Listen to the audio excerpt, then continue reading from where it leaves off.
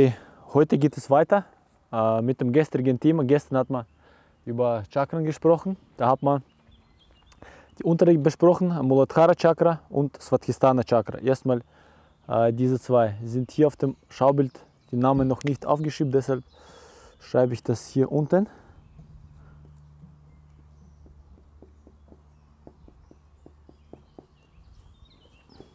Schreibt gleich das Element dabei, das vielleicht für euch auch interessant und wichtig.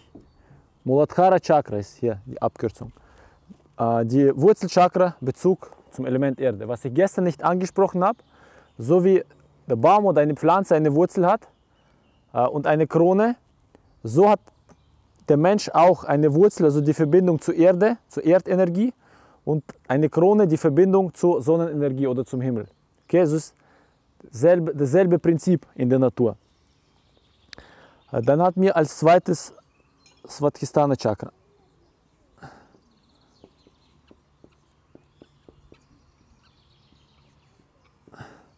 Das Element Wasser.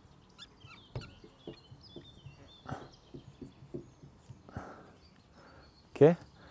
Und die Sinnesorgane oder die Sinne, die damit verbunden sind, haben wir gestern schon besprochen, Muladhara, Erde, war Geruchssinn und Svadhisthana, Wasser, ist Geschmackssinn. Okay, sind trotzdem nach oben verbunden, obwohl sie sich im Körper woanders befinden. Das mit dem woanders befinden, das ist ja auch nur so eine mehr oder weniger theoretische Sache. Im Grunde genommen, was wir in der physischen Welt sehen und betrachten, besteht ja aus drei Dimensionen und vierte Dimension ist die Zeit. Dort in der Energiematrix ist es vielleicht etwas bisschen anders und für unseren normalen Menschenverstand ist das schwer zu erklären und zu begreifen. Auf alle Fälle symbolisch kann man das so darstellen. Weiter unten die groben Energien, die grobere Vibration, aber Nichtsdestotrotz, äh, das äh, Muladhara Chakra ist für den Knochenaufbau zuständig. Und wir haben Knochen nicht nur unten, sondern Knochen durch, durchziehen den ganzen Körper. Genauso wie hier, Svadhisthana Chakra Wasser. Wir haben überall äh, durch den Körper Blut und andere Flüssigkeiten. Und das untere Chakra ist äh, mit den ganzen Flüssigkeiten äh, im äh, Körper verbunden und hat diesen Bezug dann darin. Kurz äh, nochmal wiederholt, äh, wenn hier Disharmonie oder äh, die Chakra schlecht funktioniert, dann neigt der Mensch äh, faul zu sein, träge zu sein und der hat auch so eine grobe Denkweise. Wenn diese Chakra im äh, Element oder in der Gune Rajas funktioniert und arbeitet, das heißt, sie ist äh, unruhig. Also in der Guna Tamas, wenn sie arbeitet, bewegt sie sich zu langsam, also sehr träge. Und der Mensch ist genauso langsam und träge, wenn sie sich im Element Rajas befindet. Das ist äh, Beschleunigung, Aktivität und äh, so sehr viel, was, was den Menschen dann auch bewegt. Vor allem dann die Wut. Dann ist er aktiv, aggressiv sozusagen und äh, rachsüchtig, meinetwegen auch, auf äh, dieser Ebene. Und wenn sie dann harmonisch äh, wirkt und arbeitet, heißt der Mensch hat Geduld, äh, Stärke, gute Gesundheit, ist ausgeglichen. Okay? Äh, wenn man jetzt diese drei Gunnen äh, kurz noch erklärt, Tamas, wenn man das mit einem Stadtplatz vergleicht, Tamas ist die Guna, wo alles still steht. Das sind Menschen auf dem Stadtplatz, die stehen, ein Haufen Menschen, die sich nicht bewegen. Genauso wie in der feinstofflichen Welt. Also Mikroelemente oder Atome, die sind in einem latenten oder schlafenden Zustand. Äh, die zweite Guna ist Rajas. Äh, Rajas ist dann das Aktive. Wenn man das mit dem Stadtplatz vergleicht, sind viele Menschen, die umeinander laufen. Jeder stößt sich gegenseitig an. Es gibt Unordnung, viel Bewegung. Aber das äh, Gegeneinanderstoßen erzeugt dann wieder neue Energie. Oder so ähnlich, wenn Atome in einem eingeschlossenen Raum sind und sie sich schnell bewegen, durch die Reibung wird dann Energie erzeugt. Sie bewegen sich praktisch chaotisch hin und her. Das ist die Guna Rajas. In Deutsch haben wir das Wort Raja, das ist dem auch gleichzusetzen, beziehungsweise das ist die gleiche Wortwurzel. Okay? Äh, und dann haben wir Sattva, manchmal mit Doppel-T geschrieben. Sattva ist dann Harmonie. Mit dem Stadtplatz verglichen, das ist, wenn Menschen wie in einer äh, militärischen Ordnung alle in Reihen gehen keiner stößt sich gegenseitig an, da gibt es Bewegung, aber die Bewegung ist harmonisch, ohne dass zusätzliche Reibung oder Wärme oder Energie entsteht. Man würde, würde das vielleicht mit, wenn man jetzt Atome nimmt, mit einem Fluss der Atome vergleichen, in irgendeine bestimmte Richtung. Äh, so kann der Mensch in einem der Gunnen leben. So sind Nahrungsmittel diesen Gunnen zugeordnet, bestimmte Nahrungsmittel, wenn man sie isst. Und äh, die Energie kann auch in dieser Art und Weise entweder im Tamas schwingen oder Rajas oder Sattva. Und dann wieder nach besteht das ganze Universum aus, diesen, aus dieser ja, Trinity oder Dreieinigkeit, sagen wir mal so. Und wenn wir das jetzt aufzeichnen, wieder symbolisch, hier ist Tamas, hier ist Rajas, hier ist Sattva. Ähm, idealerweise würde alles oder müsste alles im Gleichgewicht sein. Wenn wir einen Punkt nehmen, zum Beispiel ein Nahrungsmittel. Ein Nahrungsmittel hat Tamas, Rajas und Sattva. Wenn wir Nahrungsmittel nehmen, die gekocht sind, verdorben, so konservierte Nahrungsmittel oder künstliche Nahrungsmittel, Fertiggerichte, dann sind sie eher hier einzuordnen, im Tamas. Also sie haben weniger Sattva, weniger Rajas. Und Mensch, wenn er sich von solchen Nahrungsmitteln ernährt, der wird einfach, also sein Intellekt sinkt ab, seine Gesundheit ist auf einer entsprechenden Art und Weise und sein Gehirn funktioniert auch dementsprechend. Also er neigt auch zu Trägheit, zu Faulheit äh, und zu einer entsprechenden Lebensweise auch. Zum einen, weil diese Nahrungsmittel diese Information des Tamas mitbringen, zum anderen auch dieser Nebeneffekt, dass der Körper durch solche Nahrungsmittel nach und nach verschlagt und das wirkt sich ja auch auf die Funktionsweisen des Organismus, auf den Stoffwechsel aus. Wenn wir dann etwas sehr, sehr Scharfes nehmen, zum Beispiel nur Chilischoten, wenn man isst, dann haben sie wenig Sattva, wenig Tamas und nur Rajas. Solche Nahrungsmittel müsste der Mensch essen, wenn er aktiv tätig werden will. Zum Beispiel, man kann das selbst variieren, selbst kontrollieren. Wenn man jetzt überreizt einige Tage gearbeitet hat und keinen Schlaf gehabt hat, dann kann es sein, dass man sich ausschlafen muss, ein paar Tage. Man kann so ein Nahrungsmittel dann nutzen. Wenn man jetzt etwas, was im Tamaguna ist, zu sich nimmt, dann verfällt man in so einen faulen, schläfrigen Zustand, dann kann man sich zumindest gut ausschlafen. Wenn man jetzt körperlich tätig werden muss und arbeiten muss, müsste man etwas essen, was im Rajaguna ist, also was ganz, ganz heißes, was scharfes, was den Körper und den Stoffwechsel anregt und viel Gewürze. Das wäre alles Rajas. Äh, Im Sattva-Guna äh, oder dem Sattva-Guna werden äh, so süße, wenig saure Früchte zugeschrieben. So Honig, Milch äh, sind alles Produkte, die viel Sattva erhalten, enthalten. Wenn der Mensch sich von solchen Sachen ernährt, heißt es, der kann gut meditieren, weil der ist im Gleichgewicht, in Harmonie. Wenn er äh, Produkte vom Tamas isst, während der Meditation wird er eher einschlafen. Wenn er Produkte im Rajas isst, wird er während der Meditation wird sein Verstand zu aufgeregt sein, zu hippelig sein und er wird einen Gedanke nach dem anderen haben, der wird keine Ruhe finden. Und nur im Sattva Guna, wenn man jetzt von Yoga spricht, kann der Mensch dann gut meditieren. In der Hatha Yoga Pratipika, ein ja, Buch über Hatha Yoga eben, wo das alles klar und deutlich beschrieben wird, wie sich ein Yogi ernähren soll, äh, wie er praktizieren soll, sein Tagesablauf, viele andere Regeln. Dort wird äh, die Ernährung für den Yogi so beschrieben, es soll süße, ölige, milchige Nahrung sein, die angenehm für das Herz ist. Also dann ist es im Sattva Guna. Was Milchprodukte angeht, lässt es sich streiten. Es gibt sehr viele Theorien, die besagen, dass man Milchprodukte lieber nicht essen soll. Wir sprechen aber von den Zeiten, als die Erde noch rein war, als die Kühe noch grünes Gras gegessen haben und als man sie selber gemolken hat. Da war die Milch vielleicht noch im äh, Sattva, also frische Kuhmilch. Was wir heute im Geschäft kaufen, in der Tüte, das ist dann eher Tamas zuzuschreiben und das ist wahrscheinlich nicht mehr als Milch zu bezeichnen. Dann gibt es natürlich Produkte, wenn wir zum Beispiel einen Apfel nehmen, der sauer ist, dann wird er halb Sattva, halb Rajas sein. Okay, also Produkte, die sind nicht nur aus einer Guna, sondern das ist alles zusammengefügt.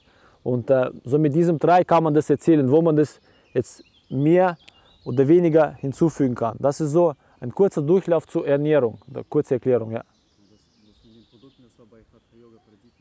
Ja, genau, genau. Okay. und jedes Chakra kann dann entsprechend im Tamas vibrieren, im Rajas vibrieren oder im Sattva. Äh, wenn wir hier weiter hochsteigen zu Svatisthana Chakra, Wasser dies für Vergnügen, für Genussmittel, für, äh, was haben wir da noch, äh, alles was mit, mit den Geschmackssinnen, mit den Geschmacksnerven zu tun hat und äh, wo der Mensch dabei bestimmte Befriedigungen empfindet.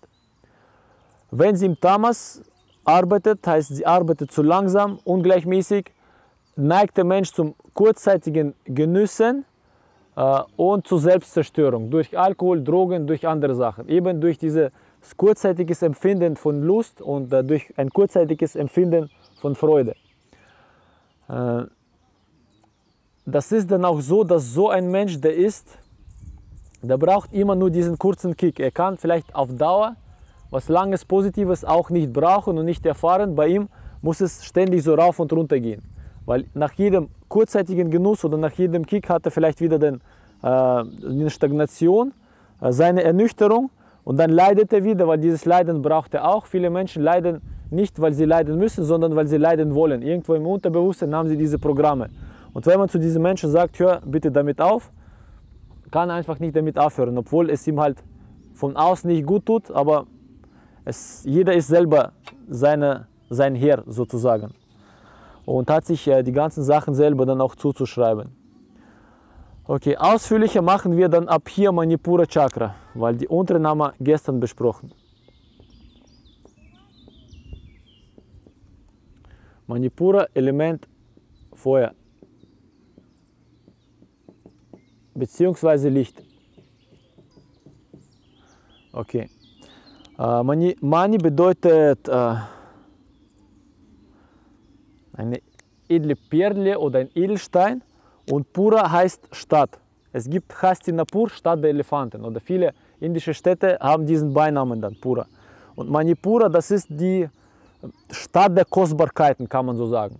Weil dieses Chakra ist eben mit, dem, äh, mit der materiellen Welt verbunden, äh, mit äh, auch bestimmten Reichtümern, mit der Ansammlung von Reichtümern, mit Ansammlung von Geld und vielen verschiedenen Gegenständen. Äh, man kann diese Chakren auch als bestimmte Welten bezeichnen.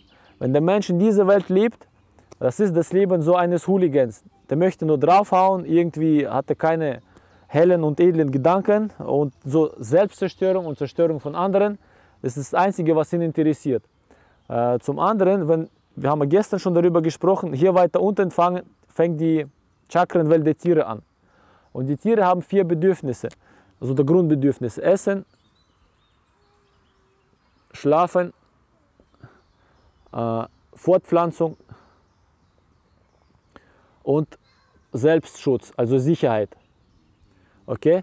Und viele Menschen haben eben nur diese vier Grundbedürfnisse und weiter geht es bei ihnen. Sie haben keine anderen Interessen mehr. Also ihnen reicht so zu, zu Hause der Fernsehen, die Couch, die Flasche Bier und so. Was anderes wollen sie im Leben gar nicht erreichen. Und sie sind auch glücklich damit, dementsprechend. Andere Menschen, die äh, weiter oben leben, in anderen Welten, sage ich mal so, wenn ihr Bewusstsein weiter nach oben steigt, dann haben sie äh, oder entwickeln sie andere Interessen. Unter anderem auf Svadhisthana Chakra versteht der Mensch dann, es gibt nicht nur draufhauen oder mich selbst den lieben, sondern es gibt auch andere Menschen. Man kann mit den anderen Menschen wechselwirken. Zu meiner eigenen Freude, zur Freude von anderen. Okay, und man kann irgendwie auch einen Selbstnutzen daraus gewinnen. Auf der Manipura Chakra ist es so, dass der Mensch dann äh, anfängt, bestimmte Handwerkskünste zu erlernen oder die ihn dann interessieren.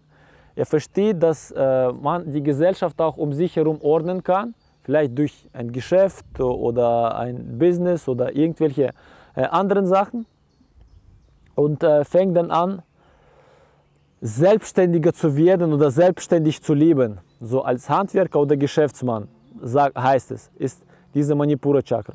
Weil er schon seine Welt ganz anders versteht, wenn hier gedacht wird, bei einer Situation, überlebe ich hier oder überlebe ich nicht. Das ist hier das Denken. Es gibt nur Plus und Minus. Hier auf das Svatisthana Chakra, wenn der Mensch Situationen hat oder sich für irgendwas entscheiden muss, dann sagt er, gefällt mir das oder gefällt mir das nicht. Okay? Hier weiter oben kann ich einen Nutzen daraus ziehen oder kann ich, habe ich einen Gewinn oder habe ich keinen Verlust? Dann ziehe ich einen Nutzen raus oder ziehe ich keinen Nutzen raus? Wenn wir jetzt wieder bestimmte Süchte nehmen, gefällt oder nicht gefällt, hier entscheidet sich der Mensch für das, das gefällt mir und dann gibt er sein ganzes Geld für seine Sucht aus. Hier würde er denken, das Geld, das Materielle ist mir viel wichtiger, auch wenn mir das gefällt, spare ich mir lieber für was Besseres oder für was anderes. Okay? Oder wenn er mit anderen Menschen in Wechselwirkung kommt, sieht er in einem anderen vielleicht irgendwie auch sein Geld, das er ihm irgendwie abknüpfen kann durch ein Geschäft oder Verkauf oder sonstige Sachen. Das ist dann eben die Manipura Chakra. Stupider Geiz steht dort, wenn sie im Tamas arbeitet, wenn sie im Rajas ist, das ist intellektueller Geiz und Habsucht. Bei stupiden Geiz wird es äh, so sein, dass der Mensch vielleicht, äh, wenn er jemanden sieht, es ihm zu schade ist, auch wenn er 10 Euro hat, ihm einen einzigen Euro abzugeben oder das kann man vielleicht bei Kindern beobachten, wenn sie ihr Fahrrad nicht teilen wollen oder wenn sie ihr Brötchen nicht teilen wollen, so dieser egoistische Geiz. Intellektueller Geiz ist es dann, wenn der Mensch denkt, er müsste viel mehr wissen als andere, er müsste immer klüger sein als andere, er liest sehr viele Bücher und sammelt sich einen riesen Vorrat an Wissen an, was er eigentlich nicht nutzt, was für ihn mehr oder weniger auch sinnlos ist. Das ist intellektueller Geiz. Okay, im Rajas, im Sattva oder wie man hier sich äh, Abhilfe schaffen kann. Im Sattva, wenn die Chakra anfängt zu funktionieren, neigt der Mensch dann zu äh, Altruismus und Selbstlosigkeit. Also ein, eine Tablette oder eine Medizin gegen den äh, Geiz wäre dann, dass man lernt abzugeben. Egal was es ist, ob es die Zeit von jemand ist, ob es ein bisschen Geld von jemand ist oder ob man seine eigene Kraft investiert, um jemandem zu helfen. Das ist alles, was man von sich weggibt. Seine eigenen Ressourcen an jemand anders. Und im Universum ist es ja so, durch die karmischen Wechselwirkungen, egal wie oft und wie viel ich abgebe, früher oder später bekomme ich das zurück. Oder ich habe, wenn ich jemand was abgebe, das nicht zurückbekomme, heißt es, ich habe meine Schulden aus der Vergangenheit beglichen. Also äh, geben und nehmen ist hier immer im Ausgleich. Nur wenn man sagt, ich habe selber zu wenig, ich gebe nichts ab, dann versperrt man sich, dann schließt man sich ein in seine eigenen Energiekapsel. Es kommt nichts raus, aber es kommt auch nichts wieder nach. Es kommt nichts rein. Und wenn man diesen Kanal, sage ich mal, öffnet durch so bestimmte Abgaben oder Spenden oder Hilfe anderen zu, dann geht Energie irgendwo zwar raus, aber wenn wir altruistisch handeln zum Wohle von der Gesellschaft, von anderen Lebewesen, sehen das die höheren Kräfte und verstehen das und wir werden mit zusätzlicher Energie noch versorgt, um noch effektiver ähm, für die Gesellschaft äh, tätig zu sein und zu, zu leben, zu funktionieren. Äh, hat angeblich die Farbe gelb. Angeblich sage ich deshalb, weil es heißt, Yogis haben in, durch Meditationen diese Chakren oder diese Energiefelder gesehen. Äh, jedes Chakra ist auch mit einer Drüse, also mit dem äh, Hormonsystem verbunden. Und es sind dort, wo die Chakren sind, ist auf der physischen Ebene sind auch bestimmte Nervenknoten, die dort zusammenlaufen. Also das Chakrensystem, das feinstoffliche Bild, das ist, sagen wir mal, wie eine Matrix, die aufgebaut wird vom Menschen, Energiematrix. Und diese Energiematrix wird dann nach und nach mit Atomen und Molekül Molekülen gefüllt. Und dann wird der feste Körper aufgebaut durch diese Energiematrix. Die bestimmt eigentlich, wie der Mensch ausschaut und wie im Menschen, welche Prozesse im Menschen ablaufen. Der Blut, äh, Blutkreislauf, Nervenbahnen und alles, was in der physischen Welt abläuft, jede Funktion und jede, sag ich mal, Handlung passiert zum ersten oder auch entsprechend im Energiefeld. Und von dem Energiefeld wird es ein- und ausgeschaltet und gesteuert. Okay? Und das Energiefeld eben drum, dieses Pranamaya Kosha, von dem wir gesprochen haben, wird von übergeordneten Instanzen auch aufgebaut. Weil der Mensch wie eine Zwiebel so mehrschichtig ist und aus verschiedenen Energie- oder Kraftfeldern besteht. Im Russischen, in der russischen Tradition gibt es so Matryoshka. Das gleiche Wort ist Matrix, das ist das gleiche. Oder ja, Mutter, Materie, das ist dieselbe Wortwurzel. Und die Matryoshka hat innen eine kleine Puppe und dann geht es immer weiter, wenn man das von oben betrachtet. So hat man Kindern früher erklärt, dass der Mensch nicht nur der feste Körper ist, nicht nur das, was man sieht, sondern aus äh, vielen äh, Körpern und Strukturen besteht, die ineinander gesetzt sind, wie diese Matryoshka. Okay, so auf spielerische Art und Weise. Und gestern haben wir sowas ähnliches auch gezeichnet. In der Mitte ist die Jivatma, der göttliche Urfunken, der in jedem von uns ist. Und die Jivatma baut um sich herum äh, Energiefelder auf oder die Anzüge auf, um diese Welt zu begreifen. Okay? Und entsprechend kann jede, jeder Körper auch eine bestimmte Schicht des Universums begreifen. Wenn wir das Universum, ich, ich zeichne das mal als Pyramide sei dahingestellt. Oben ist äh, das Bewusstsein, das göttliche Bewusstsein. Das göttliche Bewusstsein schafft für sich ein bestimmtes Energiefeld. Äh, wir nennen das, hier ist das göttliche Bewusstsein, hier ist das höhere Ich, sagen wir mal so. Hier wird das schon individueller. Das höhere Ich. Äh, danach schafft es sich einen äh, Vijnana Maya Kosha, war gestern dieser Bezug oder ein Körper des Intellekts. Intellekt, also das ist jetzt die kosmische Schöpfung. Intellekt ist nicht der, das Gehirn oder der Verstand. Das Gehirn ist nur eine Schaltzentrale aus Nervenenden oder Nervenbahnen. Das Gehirn, das machen wir hier weiter, äh, Verstand, Schrägstrich Gehirn. Das Gehirn ist dazu da, von fünf, die fünf Sinne, von den Sinnesorganen, die äh, Signale aufzunehmen und einfach zu verarbeiten. Also warm, kalt, die Geruchssinn, die, die, der Tastsinn mit der Haut, was man äh, begreift, Geschmackssinn, okay, und das Sehen. Dafür das Gehirn da. Das Intellekt ist schon eine übergeordnete Geschichte.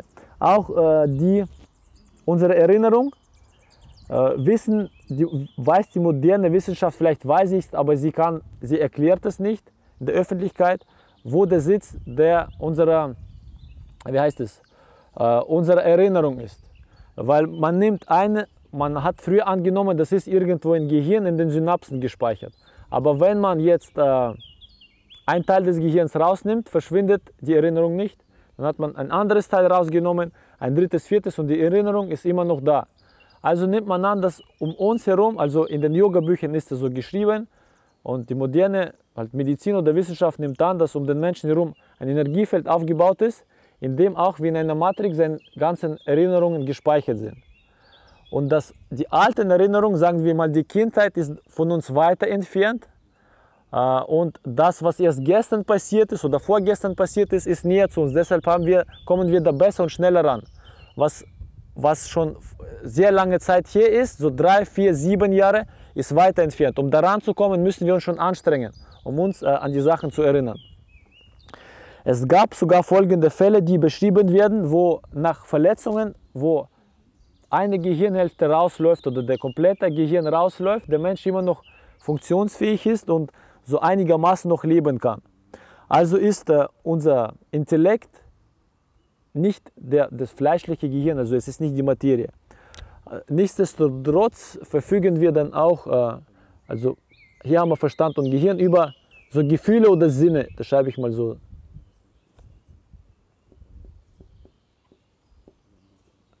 Das, was das Gehirn eigentlich analysieren kann, das ist schon gröber als das Gehirn, weil wir hier tasten, schmecken und das ist, die Materie wird hier schon gröber. Und äh, zum Schluss, ganz unten, wird dann die Materie selber geschaffen, also vom Universum. Das kann man als Pyramide oder als Kreis, Pyramide ist nur ein Teilsegment, als Kreis bezeichnen, außen die Materie und nach innen wird es immer feinstofflicher. So ähnlich ist es hier durch den Menschen durchgezogen. Unten, Muladhara Chakra ist die Verbindung zur groben Materie oder die Verbindung zur Erde. Äh, Svatisthana Chakra ist die Verbindung, das ist unsere Gefühlswelt. Deshalb äh, Geschmackssinne äh, und äh, diese Freuden, Genüsse, Süchte, alles, das ist unsere Gefühlswelt, das ist unser emotionales Feld. Äh, deshalb ist hier eine Stufe, Gefühle, Sinne, ist mehr mit dem Svatisthana Chakra verbunden. Manipura Chakra ist unser Verstand, dieses rationelle Denken, dieses Sehen, Gewinn oder nicht Gewinn, was ich früher äh, äh, gesagt habe oder vorher gesagt habe, ist mir halt diese Welt. Verstand und Gehirn, rational. Dann haben wir Intuition und das höre ich. Das sind schon hier diese oberen Chakren. Eigentlich schreibt man Ajna Chakra die Intuition zu und dem hören ich äh, das Sahasrara Chakra. Also wir sehen hier im allgemeinen, allgemeinen Aufbau des Universums auch einen Bezug als so kleines Abbild oder kleine Kopie des ganzen Universums ist unser menschlicher Körper. Hier Feuer, Licht ist das Sinnesorgan Augen oder die Sehkraft. Sehkraft ist direkt mit dem Manipura verbunden. Äh, wenn wir über Strukturen auf der Erde sprechen, die Menschen Energie äh, abzapfen, dann zapfen sie hier über Genussmittel und äh, Pornografie den Menschen die Energie ab. Hier auf der Manipura Chakra sind es visuelle Reize, also Filme, Werbungsplakate, bestimmte Zeichnungen, Computerspiele, wo der Mensch über Augen gereizt wird, ist hier Energieverlust auf dem Manipura Chakra. Eine schlechte Sehkraft kann man auch ähm, wiederherstellen, wenn man mit dieser Chakra arbeitet. Das ist ja auch alles zusammen verbunden.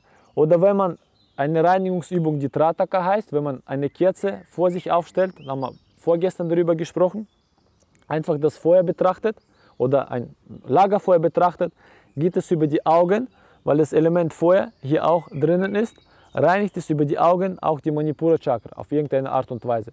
Und die Sehkraft und die Klarheit des Sehens wird durch solche Praktiken, durch die Trataka auch äh, besser. Also Bewusstsein, Materie, es greift alles ineinander und wir haben dazwischen äh, viele Schritte, wie das Bewusstsein sich langsam in Materie verwandelt über Energie und Materie kann man wieder über Energie, Informationsebene in das reine Bewusstsein äh, zurück äh, modifizieren oder zurück transformieren. Äh, okay, dann zu Manipura Chakra haben wir gesagt, also Feuer, offenes Licht.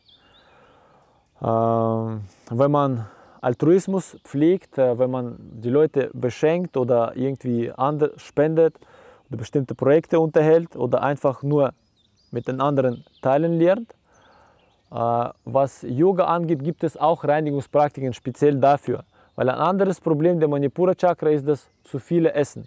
Wenn die Energie hier groß ist, das ist wie der Treibstoff dann, der das Essen verdaut, muss diese Energie wohin und dann neigt der Mensch dazu, mehr zu essen, als es im Normalfall nötig ist. Natürlich kann man dann dagegen ja, fasten oder nicht fasten, aber viel effektiver wäre es, die Energie durch Praktiken oder die Kanäle zu öffnen, dass die Energie höher ansteigt. Einfach diese Dämme brechen, die die Energie nicht höher fließen lassen. Wenn sie nicht höher fließen können, sammelt sich das in der Manipura Chakra an und man muss mehr essen. Wenn die Energie unten bleibt, dann ist man eigentlich auch ganz normal, weil man hat keine Energie, um viel Essen zu verdauen. Okay? Wenn ihr also normal ausschaut und nicht übermäßig groß, obwohl ich komme gleich auch drauf, dann ist die Energie entweder darunter oder darüber. Es gibt aber Menschen, die einen normalen Körperbau haben, aber trotzdem geizig sind. Bei ihnen ähm, ist es so, dass sie nicht gegenüber Essen oder viel Essen geizig sind, sondern gegenüber Geld und Reichtümern. Solche Menschen gibt es auch. Wenn man mit denen äh, Kontakt hat, über ein Gespräch oder über ein längeres Gespräch sogar, kann man dann feststellen, dass man selber diese Probleme bekommt teilweise, aber nicht, dass man geldsüchtig wird oder nach Geld strebt, sondern bei einem anderen Menschen kann diese Wirkung auf der Manipura Chakra in Esssucht umschlagen. Okay? Problem auf gleicher Ebene, bloß das wirkt sich bei jedem dann anders aus. Vielleicht, wo jeder seine Schwäche hat. So, äh, so kommt es dann auch. Dann die Anahata Chakra.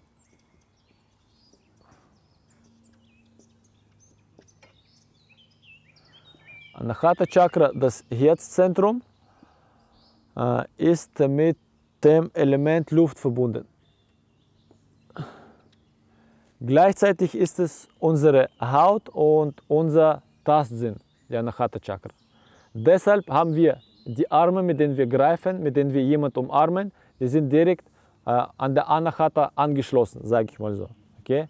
Wenn der Mensch herzlich ist, lieb ist, sage ich mal so, dann umarmt er oft andere und man fühlt sich über die Anahata Chakra gegenseitig. Das ist eine mehr oder weniger schon menschliche Welt. Wenn hier unten, das ist äh, so eine Welt, sage ich mal, auch des Leidens, des Egoismus, dann ist man hier auch, äh, man kann andere mitleid, also bemitleiden, man kann anderen mitfühlen, man fühlt, wenn es dem anderen schlecht geht und man ist dann mehr ein Mensch sozusagen, wie da unten. Da unten hat man andere Sachen, andere Interessen. Hier beginnt äh, die Welt des Menschen auch.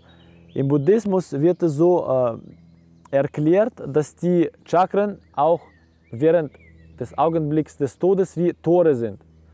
Wenn die ganze Energie des Menschen hier, wenn er wütend ist, äh, faul ist und nichts im Leben anstrebt, außer den vier äh, Grundbedürfnissen der Tiere, wird er über dieses Chakra auch entsprechend in den unteren Welten wiedergeboren. Also dieses Bewusstsein, was eh im Körper unten ist, zieht ihn dann noch tiefer runter durch seine Begierden, die er während des ganzen Lebens angesammelt hat. Und das Svadhisthana Chakra, schreiben die Buddhisten, das ist dann die Welt der Tiere. Wenn man hier Genüsse und äh, Gelüste auslebt, sein ganzes Leben lang, heißt man verbraucht hier sehr viel Energie und wird dann als Tier wiedergeboren, weil die Tiere leben auch nur nach Instinkten und da kann diese Seele auch ihre Triebe und ihre Süchte und Gelüste auch ausleben in der Tierwelt. Aber in die Tierwelt zu gelangen, das ist äh, auch nicht so schön, wie es am ersten Augenblick vielleicht sich anhören mag. Die Welt der Tiere ist sehr rau, sehr äh, grob auch und bis die Seele aus der Welt der Tiere weiter nach oben evolutionieren kann, wenn sie einmal darunter rein verfällt, dauert es sehr, sehr viele Inkarnationen. Hier heißt es, das ist die Welt der hungrigen Geister. Also äh, Seelen, die geistig sind, äh, die habsüchtig sind, äh, sammeln diese Tendenzen und Begierden an während des Lebens und um sich davon zu reinigen, werden sie in bestimmte Welten transportiert oder in bestimmten Welten wiedergeboren, wo sie viel Hunger leiden müssen, wo es nichts zu essen gibt, so ein Wüstenplanet sozusagen oder ein Steinplanet sozusagen. Und die Buddhisten beschreiben das weiter so, äh, sagen, äh, märchenartig nicht, aber auf wundersame Weise, dass angeblich in diesen Welten es so funktioniert, die Wesen, die dort inkarnieren, haben einen sehr dünnen Hals und einen sehr großen Bauch, der immer hungrig ist. Durch den dünnen Hals können sie nichts in sich hineinfüllen und sind ständig hungrig. Und auch wenn sie was zu essen finden und was in der Hand halten, in diesen Wüsten- und Steinplaneten, dann verbrennt der Geist der anderen Seelen, weil sie viel eifersüchtig und geistig sind, irgendwie das letzte Essen, was er für sich gefunden hat. Und so lernen sie dann anders zu sein und können dann weiter oben reinkarnieren. Die Anahata Chakra ist die Welt der Menschen, der Menschen, in der ihr alle lebt und höchstwahrscheinlich auch durch die Anahata Chakra hier auf die Welt gekommen seid oder durch dieses Tor hierher gekommen seid.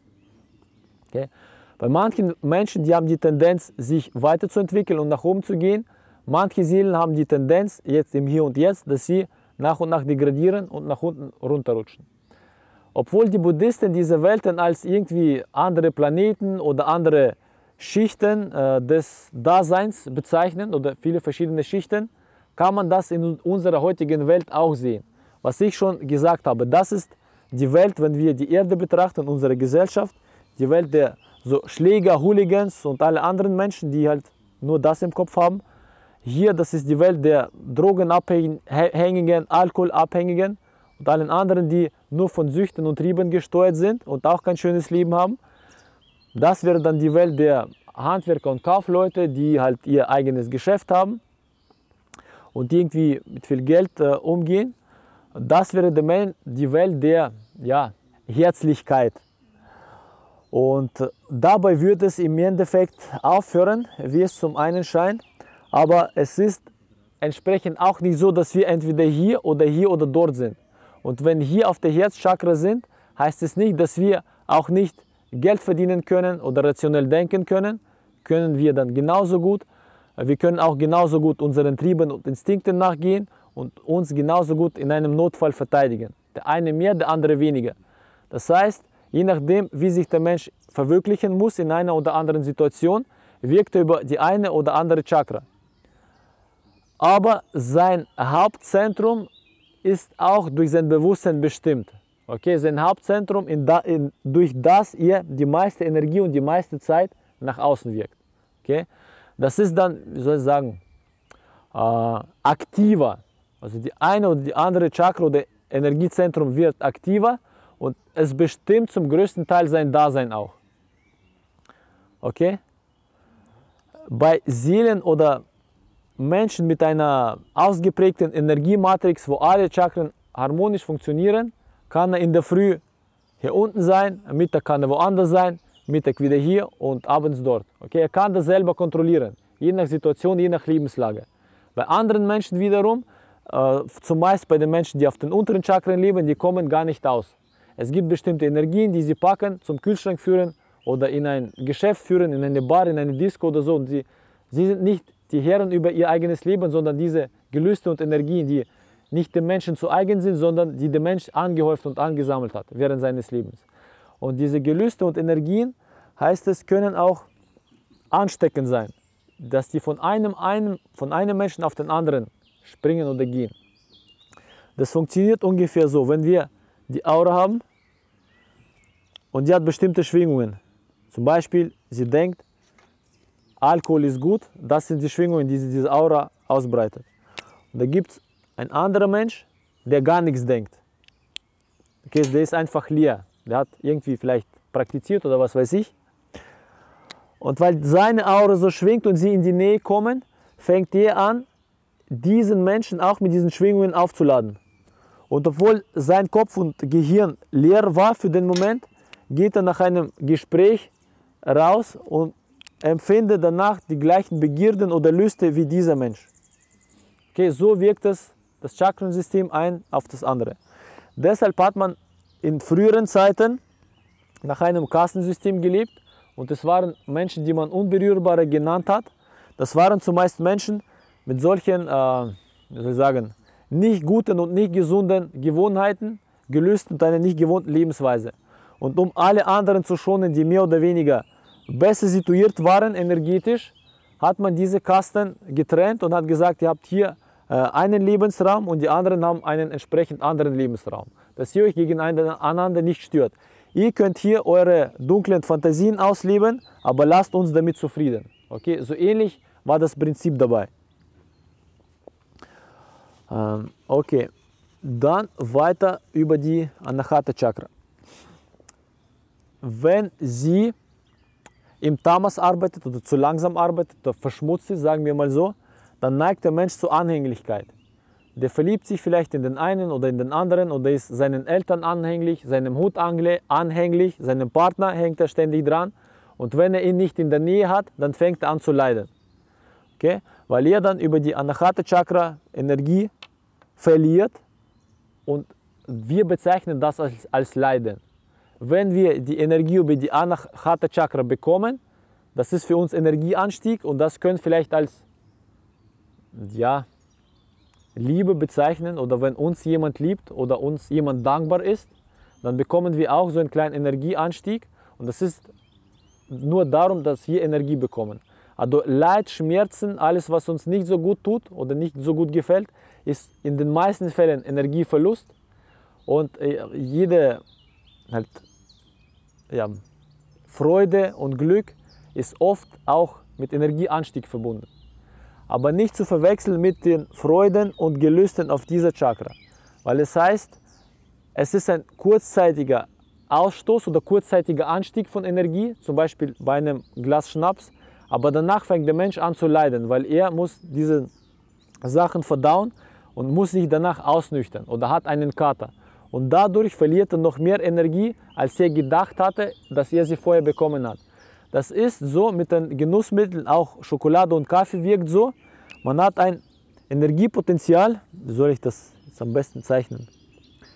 Man hat so Energieressourcen, von denen man so immer ein bisschen rausnimmt zum Leben.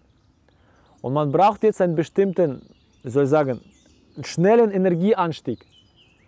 Und der Kaffee, Alkohol und andere Drogen, das sind nur Stimulatoren, die dieses kleine Röhrchen, wo wir Lebensenergie vielleicht zum Gehen, zum alles andere für den Alltag brauchen, diese Stimulanzen öffnen hier einen größeren Energiekanal und leiten viel mehr auf eine kurze Zeit viel mehr von unserer Energie ab und wir bekommen das so als Kick, als Rausch, als Energieanstieg kurzzeitig aber wir haben hier sehr viel Energie verloren und am nächsten Tag geht es uns schlecht, Kopfschmerzen und alles andere. Haben wir dann einen Energieabfall dadurch. Das heißt, durch diese Stimulanzen auf der Svatisthana Chakra äh, klauen wir uns selbst aus unserer Zukunft Energie und äh, halt unser eigenes Leben, unsere eigene Gesundheit. Okay? Ist es so deutlich, das System, wie das funktioniert, woher auch dieser Kick und der Rausch kommt. Hier im Weiteren äh, Anhänglichkeit im Rajas, wenn die Anahata Chakra schwingt, neigt der Mensch zur Eifersucht. Also alles, was mit Beziehung, mit Partnerschaft zu tun hat, das ist unser, ja, mit anderen Worten, sozialer Plan oder unsere soziale Ebene, die Anahata Chakra. Der Mensch ist eifersüchtig, der Mensch will seinen Partner kontrollieren und äh, alle anderen Sachen, was äh, mit Beziehung zu tun hat.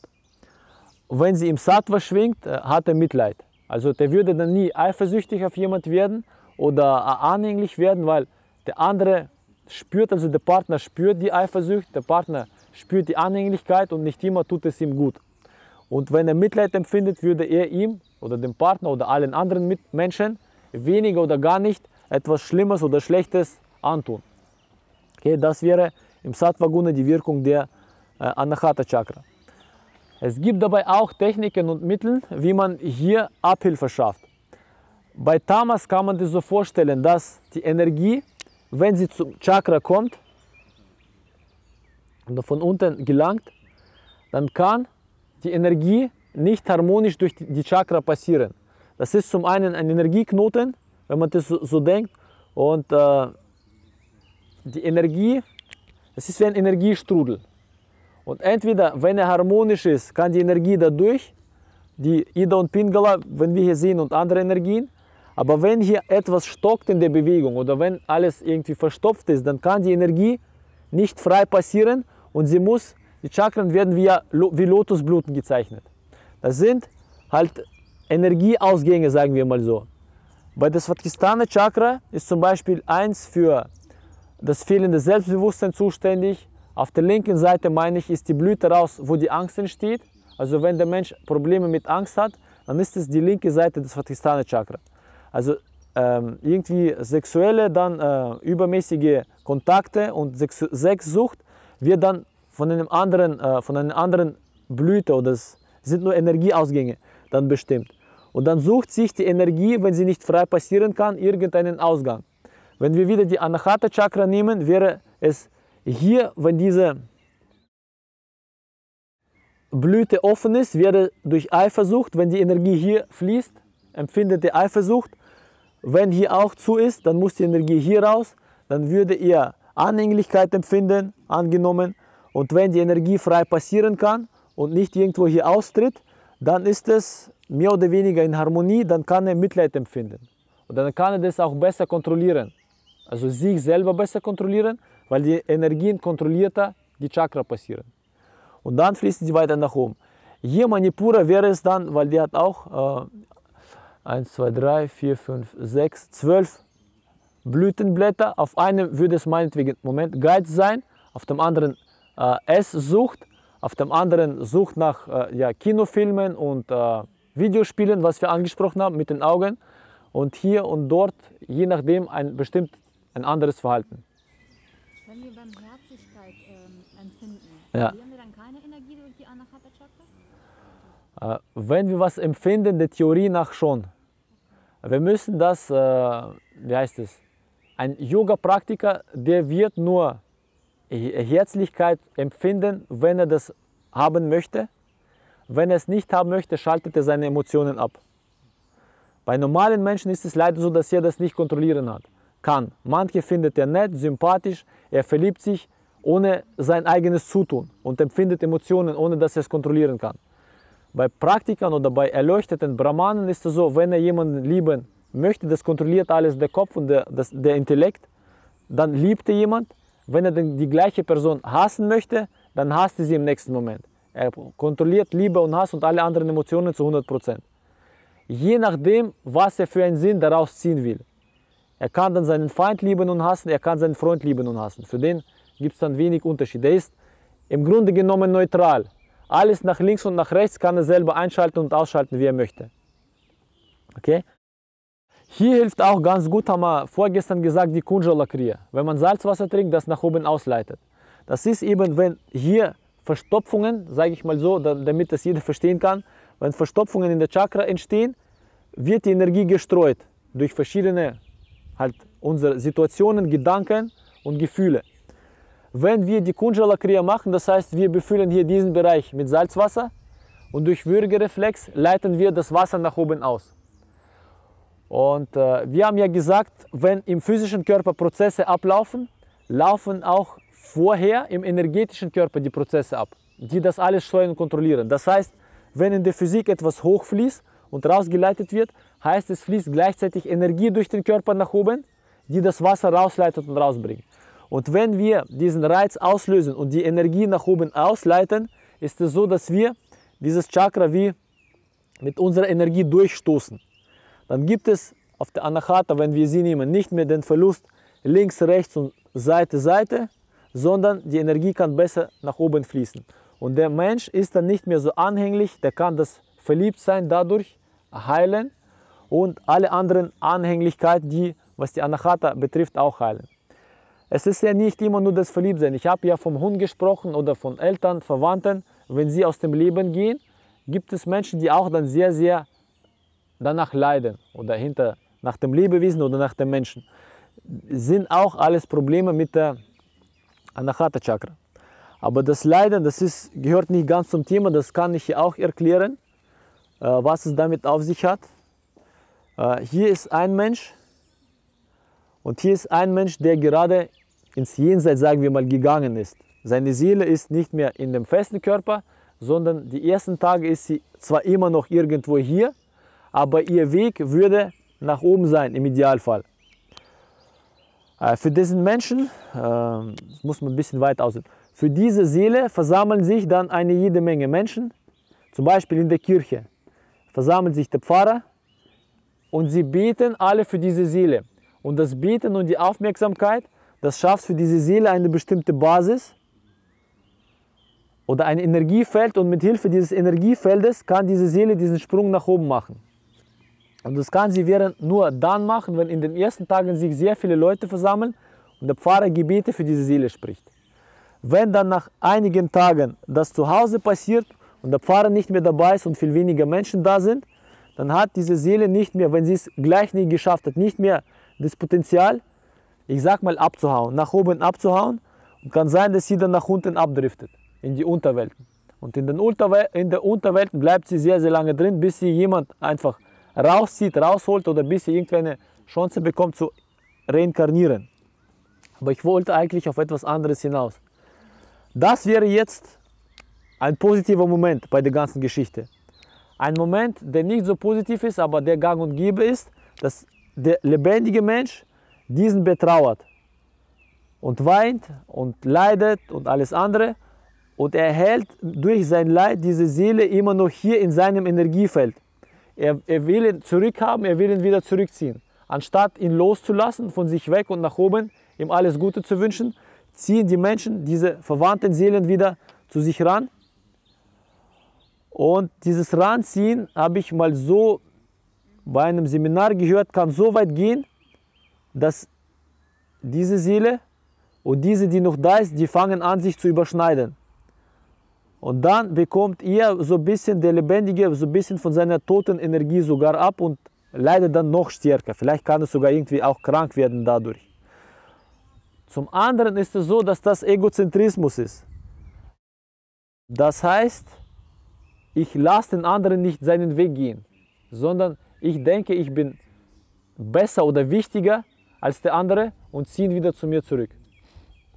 Deine Frage. Ähm, Was heißt sich überschneiden? Wie können sich lebendige und tote Seele sich überschneiden? Äh, wir, haben ja hier, wir haben ja hier gesprochen, wenn einer, der vibriert, also Vibration, Ja. und der andere, der hat angenommen andere Vibration. Die haben keine Resonanz, die können nicht koppeln aneinander. Das hat jetzt nichts mit Entfernung zu tun, sondern eine Mutter kann vielleicht ihr Kind, wenn es gleich vibriert, auf Entfernung spüren. Wenn der Kind irgendwo im Krieg ist oder so und ihm was Schlechtes zustößt, dann spürt die Mutter das zu Hause, wie so ein Stich oder eine kleine kurze Panik. Wenn aber die Vibrationen des einen sehr, sehr stark sind, dann verändert er die Vibrationen des anderen und er fängt genauso an zu vibrieren wie er. Durch diese Resonanz der beiden entsteht, also laut Physik, äh, das ist ein ganz einfaches, gängiges Gesetz, durch Resonanz entsteht durch Schwingungen, durch gleiche Schwingungen, eine Verstärkung. Das heißt, beide zusammen schwingen dann um einige stärker als jeder einzelne irgendwo. Und so entstehen Egregoren. Zum Beispiel Hunderte und Tausende von Menschen schwingen gleich, weil sie die Bibel gelesen haben, angenommen. Und sie schaffen für sich ein Energiefeld, ein starkes, das zum einen von ihnen genährt wird, von den Menschen, die so schwingen. Und vom anderen ist dieser Egregor, der dann auch Eigenschwingungen hat. Er kontrolliert dann jedes Individuum, das diesem Egregor angehört. Und wenn man anfängt, dann so einem Menschen zu sagen, ja, in der Bibel stehen nicht immer ganz korrekte Sachen, steuert dieser Egregor diesen Menschen an und er fängt an, diese Konzepte zu verteidigen. Das gleiche ist auch so der Alkoholiker-Egregor und alle anderen Sachen auch. Oder irgendwie Schulen, Sekten, Ideologien, Politikparteien, eine Familie so ein Mini-Egregor auch. Okay? Und wenn der eine sich zum Beispiel, nehmen wir jetzt den Fall mit dem Überschneiden. Eine äh, Seele, die bereits im Jenseits ist, hat auch bestimmte Schwingungen.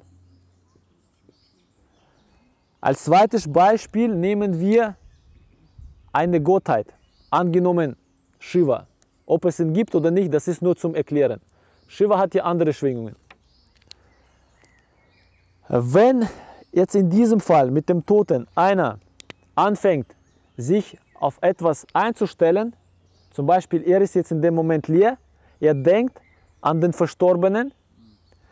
Er zieht, durch seine Gedanken zieht er die Schwingungen des Verstorbenen in sich hinein und fängt an, früher oder später genauso schwingen wie er. Das gleiche Prinzip passiert bei Menschen, die mit Kranken arbeiten, also bei Ärzten, bei Heilern oder so. Wenn sie zu viel und zu oft mit Menschen zu tun haben, die diese schlechten oder krankheitsbringenden Schwingungen haben, laden sie das auf sich nach und nach und schwingen selber und werden selber krank nach einer Zeit. Das heißt, sie müssen sich ständig selber auch reinigen. Wenn sie Schwingungen von anderen aufnehmen, müssen sie den Reinigungsprozess durchgehen, damit sie ihre Eigenschwingung zurückgewinnen. Und wenn das ein Toter ist, natürlich schwingt er dann, der, wo sich darauf konzentriert, mit der Schwingungen eines, einer toten Bewegung oder toten Energie. Und äh, können sich die Ärzte oder andere Menschen sich davor schützen, wenn sie von Menschen mit negativen Nein, sie können nur nach Hause gehen und sich reinigen. Und schützen kann man. man weiß ich nicht, ob man sich schützen kann. Man müsste halt anders schwingen als die. Aber wenn du dich auf den Kranken einstellst, musst du ja mit ihm in Resonanz kommen. Du musst ihn fragen, wie geht es dir? Du musst ihm he zu helfen wollen. Wenn ich als Arzt reingehe und alle sind mir scheißegal, ich denke zum Beispiel an meine Freundin oder an, an meinen Urlaub. Und dann nehme ich diese Schwingung nicht auf. Aber sobald ich anfange, anfange Mitleid zu empfinden, sobald ich mich anfange, auf die Menschen einzustellen, weil ich habe Shiva aufgezeichnet, weil Meditation, Meditation eigentlich das Gleiche ist. Okay? Wenn ich anfange, mich darauf einzustellen, nehme ich diese Schwingungen in mich auf. Wie kann man sich davon reinigen? Also wie sieht diese Reinigung aus? Äh, ich muss mich in meinen Urzustand bringen. Es gibt verschiedene Techniken. Zum einen sind es die Shatkarmas, die Reinigungstechniken aus dem Yoga. Zum anderen ist es, äh, sind es Meditationspraktiken. Okay? Ich erkläre gleich, das wird gleich, denke ich, klarer sein. Gebetspraktiken. Wenn ich jetzt hier die Schwingungen, so blaue Schwingungen aufgenommen habe, angenommen, ich habe mich auf den Verstorbenen konzentriert und habe diese Schwingungen. Wenn ich die nicht beseitige, es heißt, wenn der Mensch schläft, dann übertragen sich diese Schwingungen, die waren jetzt mehr im Außenfeld, die, gehen, die driften mehr nach innen rein. Und die Reinigung wird, wird sehr, sehr viel schwieriger sein von diesen Tendenzen und Schwingungen. Also müsste man sich, wenn man noch wach ist, vor dem Schlafengehen immer reinigen. Das heißt, er könnte sich von diesen Gedanken befreien und sich zum Beispiel auf Shiva konzentrieren. Sich hinsetzen über ein Bild oder durch die Gedanken an Shiva, auf die Konzentration auf seine Energie, holt er sich diese Vibrationen in den Körper herein. okay, und ladet sich mit seiner Energie auf. Und wenn er das lange genug macht, dann hat er diese Vibration beseitigt und hat neue andere Vibrationen darin. Oder man geht in die Natur, die Natur hat auch ihre eigenen Schwingungen. Okay, dass man sich da reinigt. Die Elemente, also Wasser und Feuer, hat auch eigene Schwingungen, dass man sich mit Hilfe dieser Elemente reinigt. Das Mantra Om ist, hilft auch sehr, sehr gut, ist ein universelles Werkzeug, weil das Om das ganze Universum durchzieht und das ist der Urzustand des Universums. Und wenn man sich selber und seine Energie in den Urzustand bringen möchte, könnte man auch das Mantra Om praktizieren. Äh, dasselbe Prinzip äh, passiert auch, wenn man unterrichtet, sage ich mal so. Wenn man von einer, vor einer Gruppe spricht oder äh, Yoga unterrichtet in einem, äh, in einem Yoga-Studio, ist es das gleiche Prinzip, dass man ein bisschen Schwingungen immer von der Gruppe aufnimmt und man müsste zu Hause auch bestimmte Reinigungstechniken durchführen. Mantra umsingen, für sich selber praktizieren, selber Asanas machen und das äh, einfach beseitigen. Ansonsten passiert es so, dass der Yoga, wenn wir jetzt vom Unterrichten sprechen, dass der Yogalehrer sich nach, einer, nach einigen paar Jahren Zeit sich so in seiner Lebensweise nicht mehr von seinen Schülern unterscheidet. Also es passiert immer Energieaustausch und wenn ständig Schüler kommen, die noch nicht alle Begierden beseitigt haben, vielleicht so immer noch Fleisch essen, immer noch Alkohol trinken und rauchen, wenn er zu viel Energie mit ihnen austauscht und an sich selber nicht arbeitet, wird er auch nach und nach diese Gedanken haben, diese Wünsche haben, auch mal eine Zigarette zu rauchen und sich denken, was ist schon dabei, obwohl er früher ganz, ganz anders war, auch mal Fleisch zu essen. Und nach Jahren ist das alles ausgeglichen. Es gibt so ein ähnliches Beispiel oder Prinzip, wenn man also einen Alkoholkranken und einen Gesunden in eine Zelle einsperrt und sie zusammen leben lässt, dann wird es nach einiger Zeit sein, also wer stärker ist. Wenn der Gesunde stärker ist, wird der Alkoholiker gesund. Wenn der Alkoholiker stärker ist, dann wird der Gesunde auch zum Alkoholiker. Also entweder oder. Okay, so kann man entweder Menschen rausziehen oder man verfällt selber und wird gleich wie die anderen. So vielleicht das Gruppenzwangprinzip kann man so sagen. Okay, wer die stärkste Energie hat. Es kann aber auch sein, dass einer, wenn, er, wenn seine Energie stark ist, auf sechs, sieben andere Leute wirken kann. Okay, wenn er ihnen ein bestimmtes Konzept oder eine Idee erzählt und kann das Bewusstsein der ganzen Gruppe verändern. Wenn sie alle noch rauchen, entweder sie ziehen ihn mit und der fängt an zu rauchen auch, oder er erklärt ihnen einige Beispiele. Aber es hat wirklich nicht nur mit dem Erklären was zu tun, sondern mit seiner eigenen Energie. Wenn die Energie stark ist, kann er auf die anderen strahlen, kann er sie verändern. Wenn seine Energie schwach ist, dann kann er ihnen noch 100 Jahre davon erzählen. Sie werden nicht mal auf ihn hören, sie werden nicht, ihn nicht aufnehmen. Ja. Wie passiert denn das, dass der Mensch, dass der andere so beeinflusst? Ah, das passiert auf dieser Schwingungsebene eben. Wenn seine Schwingungen stark sind, machen wir weiter, weil das heute wahrscheinlich das, was ihr hören müsst. Ah, hier sind andere. Wenn er, die sind mit Rot, die sind fest davon überzeugt, dass das Rauchen gut ist und cool ist. Und der hat vielleicht so ein bisschen was davon gehört, vielleicht ist es nicht so gut und hat nur ein bisschen Schwingungssignale davon. Und die reichen nicht aus, um die alle zu übertönen. Und wir würden sagen, es reicht nicht aus, um sie alle zu überzeugen. Wenn er schon ein bisschen mehr Informationen gesammelt hat, wenn er auch vielleicht noch selber, also die physische Kraft des Menschen und die Körpermasse und Größe wirkt auch sehr gut darauf aus, wenn man sie mit heller, mit sauberer Energie ladet. Angenommen, äh, die, hat, die haben jetzt alle 50 Kilo. Das ist ein großer Mensch, sage ich mal, Buddha Shakyamuni war fast drei Meter groß. Der hat 200 Kilo und der schwingt ganz, ganz anders. Der sagt ihnen, das Rauchen ist nicht so gesund und weil zum einen seine Biomasse mehr ist, zum anderen sein Energiepotenzial viel stärker ist, kann er die Schwingungen der anderen über überspielen oder überschreiben. Und sie werden seine Schüler und Folge nehmen, sozusagen. Und wenn er genauso wie, wie, wie sie wäre und selber auch an sich zweifelt, würde, würde er selber keine Chance haben in, de, in dem Fall. Äh, das klingt so nach Ansteckungsprinzip wie bei einer Krankheit. Ja, das, im Universum ist, läuft alles nach ähnlichen Prinzipien ab. Dass man sich so stark, dass stark sein soll, um sich dagegen gegen die negativen Einflüsse zu immunisieren. Es genau das Gleiche. Bei einer normalen Krankheit, wenn das Immunsystem schwach ist und ein Virus dringt hinein, der stärker ist, dann wirst du krank.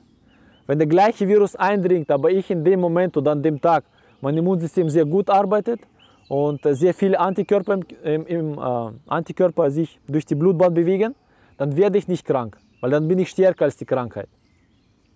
Okay? Vishuddha Chakra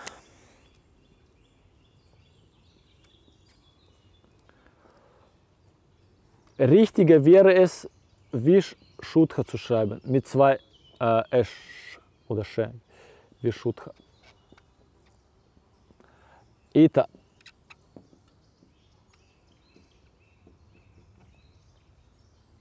Okay. Vish heißt wie Vishnu, der höchste Gott. Vishe auf Russisch heißt höher.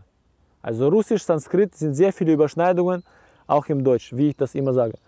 Also Vish bedeutet das Höhere oder das Höchste und Shuddha bedeutet sauber. Also die höchste reine Chakra, so wörtlich übersetzt, so ungefähr. Okay? Shuddha sauber oder reinigen, Reinigung. Weil es der Theorie nach heißt, dass die Chakra nicht verunreinigt werden kann, wenn diese so unrein oder unreine Tendenzen haben könnten, hat das Vishuddha Chakra ist sauberer als die untergesetzten Chakren. Aber hier gibt es trotzdem eine Ausnahmeregel. Wenn der Mensch anfängt zu fluchen, Kraftausdrücke zu benutzen, also sch schlechte Schwingungen durch seine Sprache zu verbreiten, dann äh, ist es so, dass die Vishuddha auch anfängt, sich zu verunreinigen oder schlecht zu schwingen. Äh, es heißt, in den früheren Kulturen, wo die Menschen noch telepathisch sich äh, unterhalten haben, hat man die Sprache und die Wörter nur benutzt, um bestimmte Kraftsprüche oder Magiesprüche auszusprechen. Weil die Schwingung entsprechend, oder Mantren, anders, anders gesagt, Mantren auszusprechen, weil die Schwingung, die die Stimme erzeugt, auch über dieses Resonanzprinzip, wovon wir gesprochen haben, bestimmte Energien anzieht.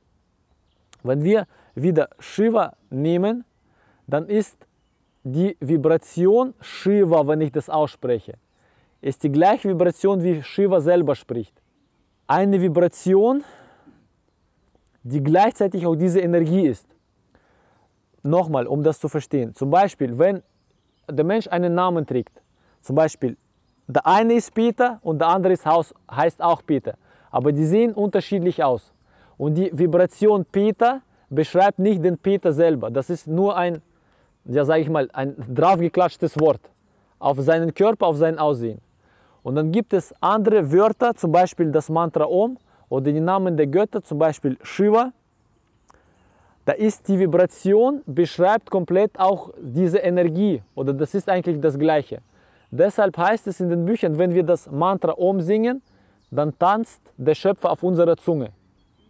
Das bedeutet dieses Prinzip, weil wie man einen Sonnenstrahl von der Sonne nicht trennen kann, das ist ineinander verbunden. Wenn es die Sonne nicht gibt, gibt es auch keinen Sonnenstrahl, aber man kann nicht abtrennen und irgendwo anders hinbringen.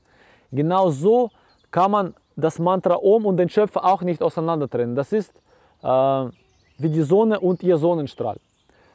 Deshalb ist es ebenso ein universelles Mittel, deshalb ist es die Praktik, die am meisten und am stärksten sozusagen die innere Welt verändern kann und äh, den Verstand auch reinigt. Ich hoffe, wir kommen etwas später auch noch darauf.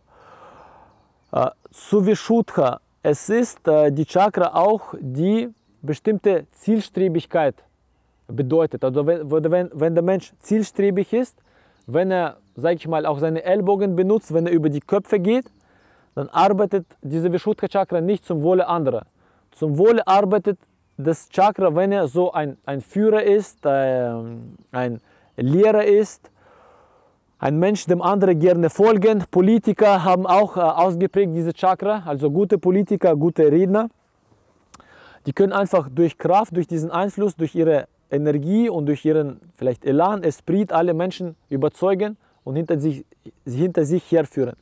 Das war auch die Chakra der Kriegerkaste früher. Also Krieger waren ja auch Anführer oder die Herrscherkaste, die viele untergeben haben um, äh, und sie um sich auch ordnen können, dass jeder seinen Platz weiß und jeder an seinem richtigen Platz sich auch befindet.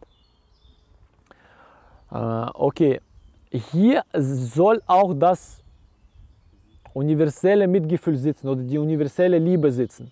Wenn wir hier Liebe nur gegenüber von Menschen empfinden, oder vielleicht nur einen Menschen lieben wir, den anderen lieben wir nicht, dann ist es auf dieser Chakra so, dass wir alle gleichzeitig mitempfinden und alle gleichzeitig lieben, sagen wir so. Alle Lebewesen, alle Tiere und alle Menschen gleich. Wir äh, kristallisieren nicht irgendeinen von denen und schenken ihm unsere alle Freude und Energie, sondern alle gleichzeitig. Da gibt es keine Vorzüge, da gibt es keine ich liebe den und ich liebe den nicht, sondern alle sind gleich für den Menschen. Da sind auch, was ich schon gesagt habe, die Chakren der großen Meister und der großen Lehrer. Und dann die Ajna Chakra.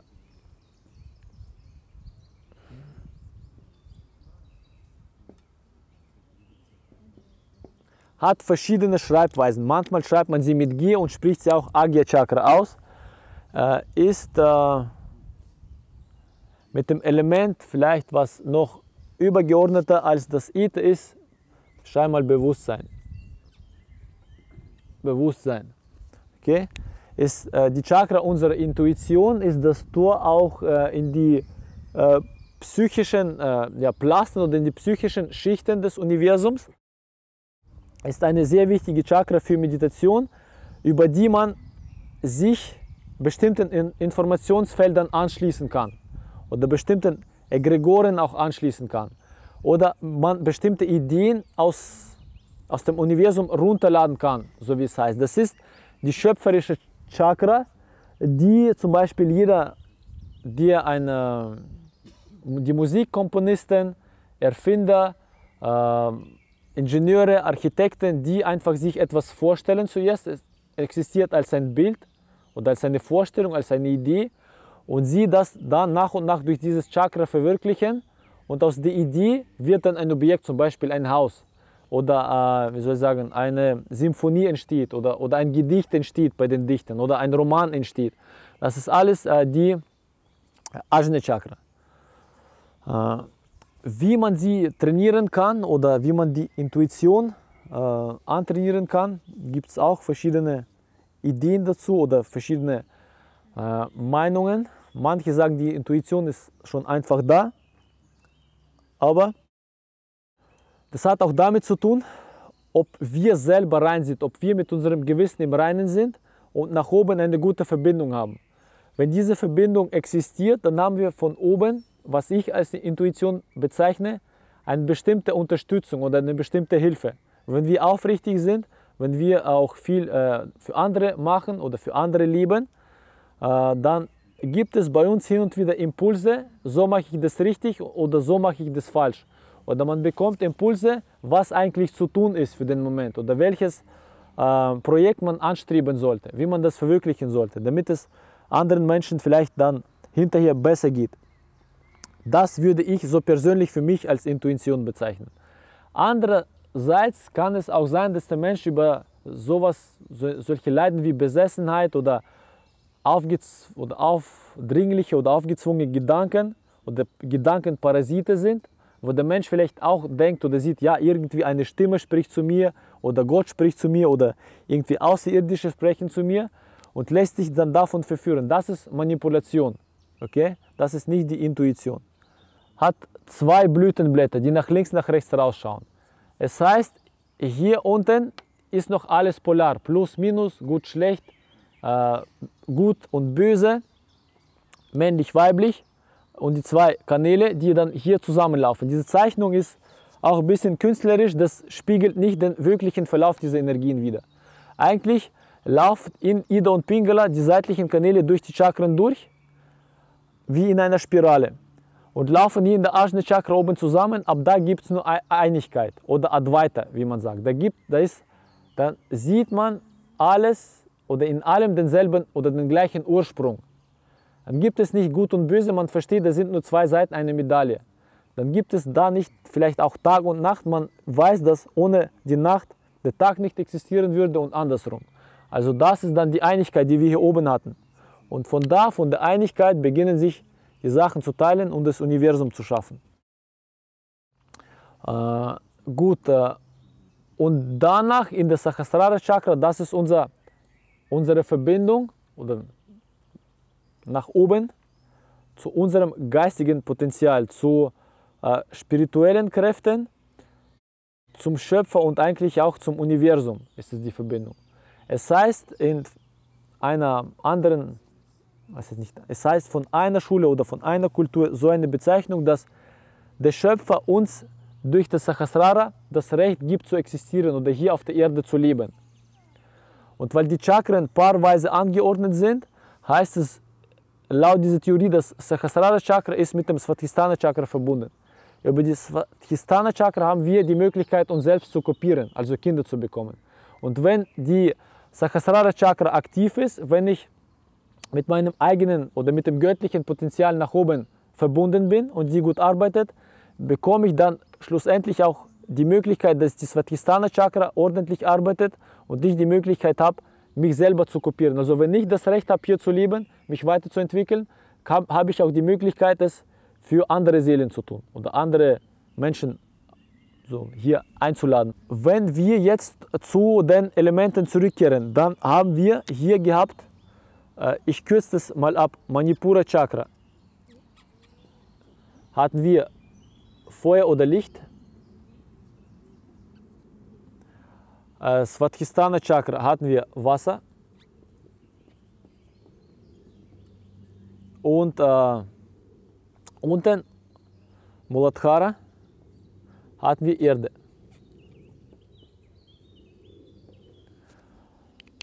Hier haben wir gesagt, na fangen wir lieber oben an. Äh, Erde, Wasser, Feuer, Luft und Äther. Vishuddha Chakra ist mit Sinnesorganen Ohr und äh, mit unserer Sprache verbunden. Ohren und Sprache, das ist alles, was sich im Äther ausbreitet. Und das sind Schwingungen, die wir aufnehmen können. Deshalb ist es zum einen die übergeordnete Chakra, zum einen das übergeordnete Element. Also was im Äther sich befindet, das kann man nur hören oder durch Sprache von sich geben.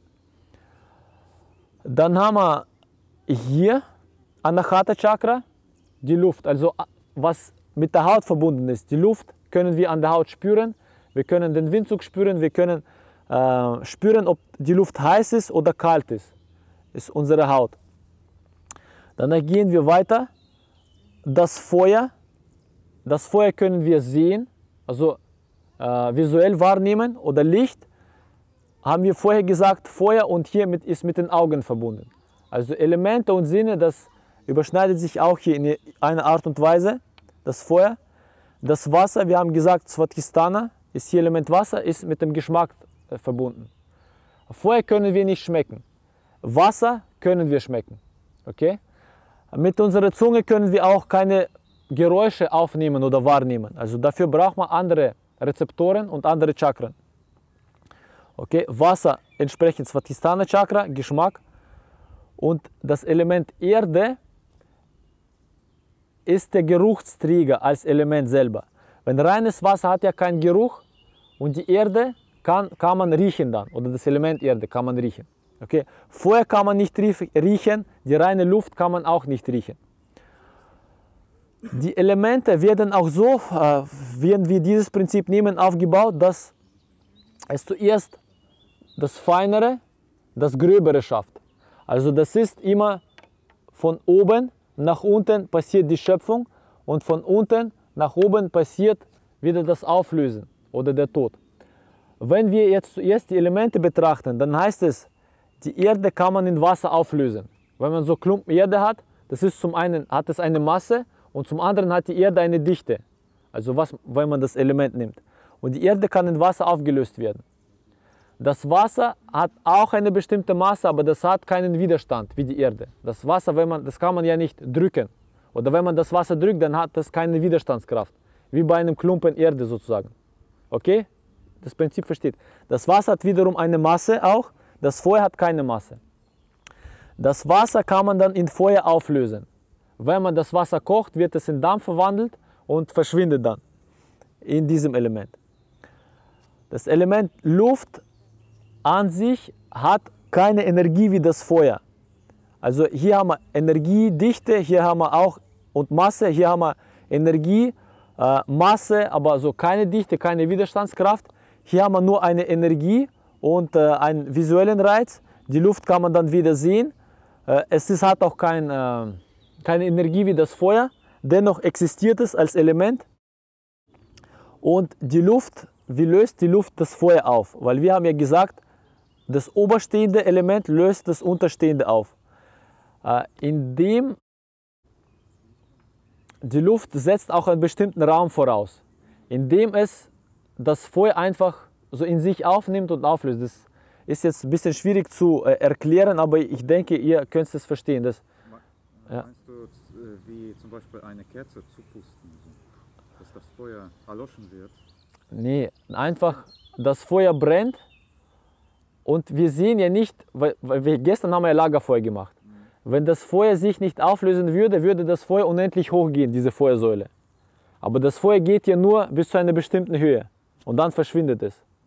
Okay, dieses Prinzip. Das Feuer löst sich selber in der Luft auf. Ach so, nicht zupusten. Nein, nein, nein, nein, nein, nein, nein, was anderes. Und bei der Luft ist es so, die Luft lässt sich im Äther, Äther kann man auch als Raum bezeichnen. Wenn man den Raum verkleinert, dann komprimiert man die Luft, dann wird die Luft auch heißer und spürbarer, dann ist mehr Druck. Wenn man den Raum vergrößert bis zur Unendlichkeit, verschwindet auch die Luft, weil dann ist kein Druck, dann ist Vakuum dann vorhanden. Okay, dieses Ausbreiten. Ausbreiten und nach unten das Komprimieren.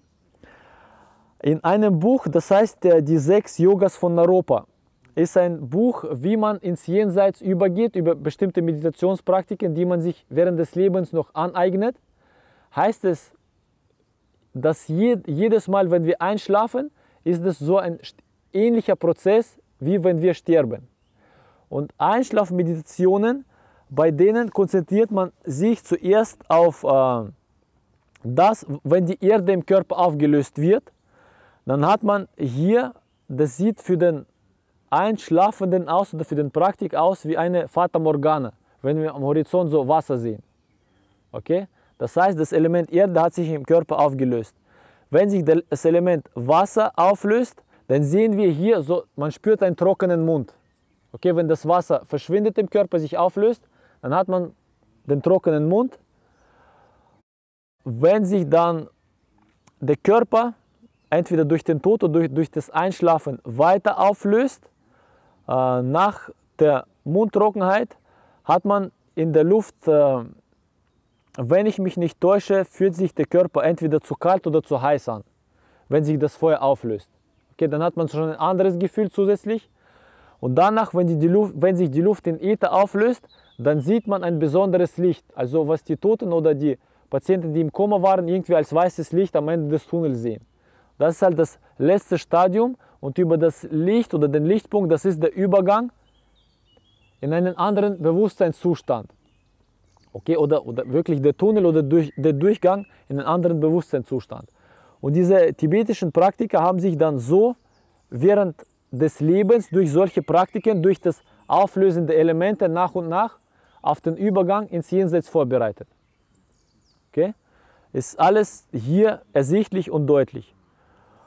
Und äh, wie ich das gestern schon angesprochen habe, das ganze System, entweder man nimmt halt hier diese Pyramide, halt das höhere Ich, Intellekt, der Verstand, unsere Gefühle, die Materie, wenn man das hier, hier rüber schiebt, man hat im unteren Chakra ist Bezug zu Erde, Wasser, Feuer, Luft, Äther und das höhere Bewusstsein. Also ob man jetzt die Elemente nimmt oder hier die materiellen oder energetischen Sachen nimmt, ähm, man kommt wieder auf das äh, Gleiche raus. Uh, okay, dann kann man das zur Seite machen. Habt ihr zu diesem Thema noch allgemein Fragen?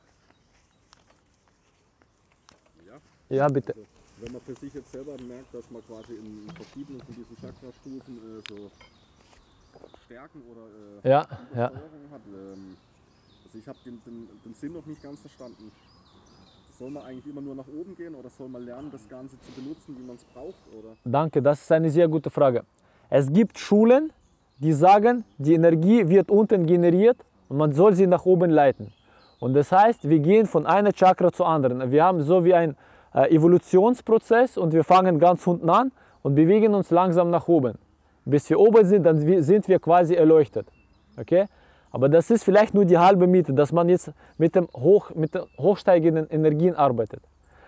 Andere Schulen erklären es so, dass die unteren drei Chakren und bei diesen Schulen ist es auch so, dass sich das Manipura nicht hier befindet, sondern weiter unten. Das ist dann, wenn man sie verbindet, das untere Dantian. Das ist so aus, dem, äh, aus der chinesischen Medizin, aus der chinesischen auch Tai Chi Lehre und Tradition hat man diese drei Dantian, der obere, mittlere und der untere. Und in diesen Schulen, die halt jetzt nicht von dieser Evolution nach und nach sprechen, die sagen, die unteren drei Chakren werden vom Erdkanal versorgt, also durch die Inkraft oder durch die grobe rohe Kraft des Universums, der weibliche Energie des Universums. Deshalb haben wir hier Stärke, Ausdauer und äh, unsere Physis. Das mittlere Dantian ist dann Bereich ungefähr Solarplexus, also zwischen Anahata und äh, Manipura Chakra ist hier unser Solarplexus.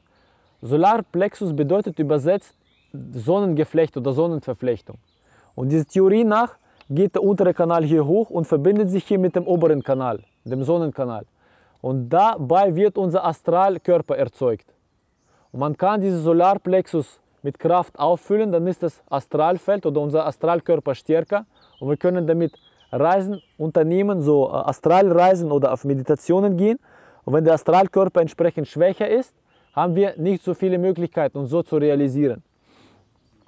Und die oberen drei Chakren, die Sahasrara gilt nur als Verbindung, gilt eigentlich nicht als Chakra. Die oberen drei Chakren werden von oben versorgt mit Energie. Okay, das ist obere Dantian und man sagt, er ist hier im Bereich Kopf. In russischen Märchen wird es als das goldene Reich, das silberne Reich und das bronzene Reich bezeichnet. Okay?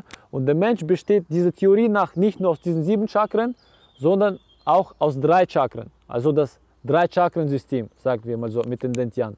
Und nach dieser Theorie haben wir einmal von unten den Bezug und von oben den Bezug. Wenn wir uns nach oben anschließen, arbeiten die oberen Chakren besser und die unteren nicht. Wenn wir uns von unten auch an die Erde anschließen, arbeiten auch die unteren Chakren gut. Und dann ist alles im Gleichgewicht. Okay? Und äh, das mittlere, das ist dann halt für sich selber etwas Eigenes.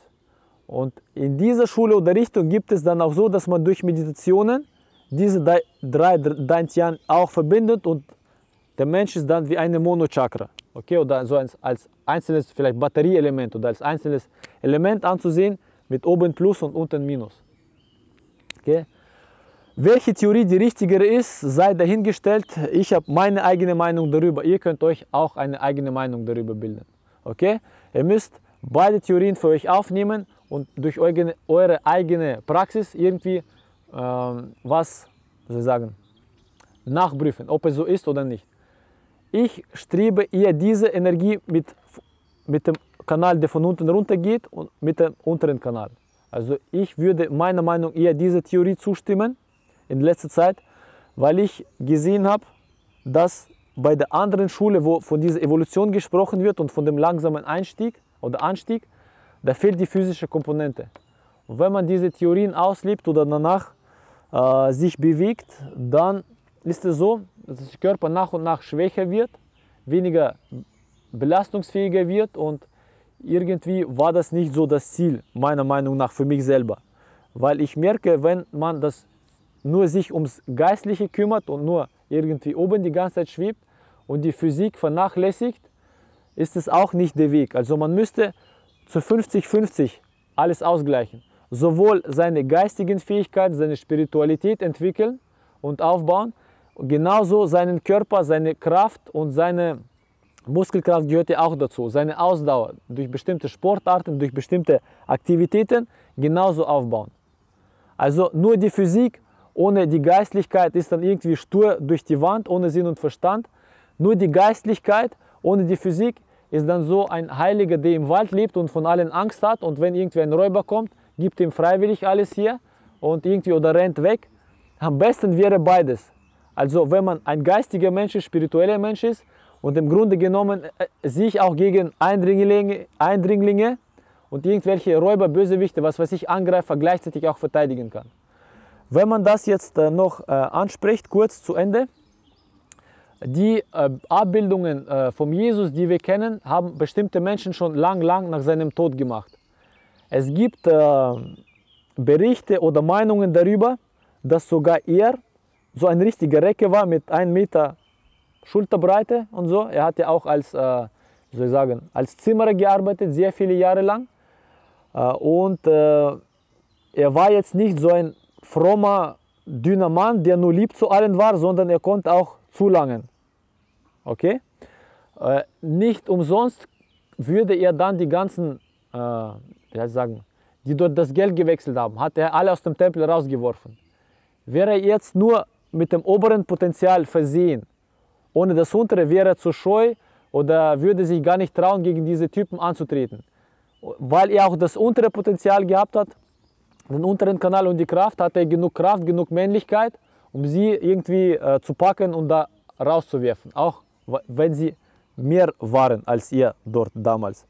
Genauso vom Buddha, er hatte einen sehr großen Körper, einen sehr starken Körper, viel größer als seine ganzen Schüler.